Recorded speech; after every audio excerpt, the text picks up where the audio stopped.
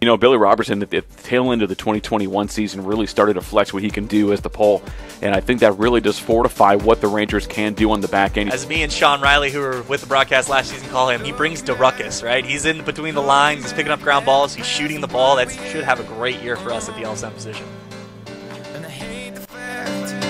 We can't turn back, cause what I did, it hurt you bad.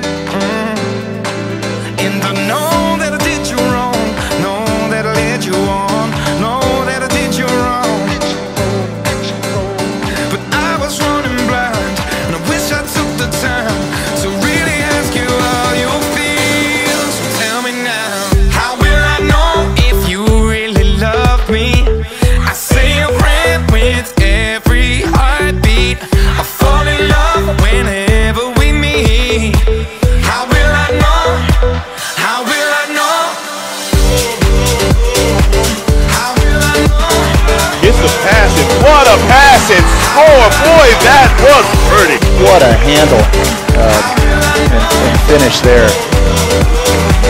How will I know? Every night I'm running wild to heal the scars and clear my mind. Oh, yeah. But it's hard to find the space I need to contemplate that you're not mine.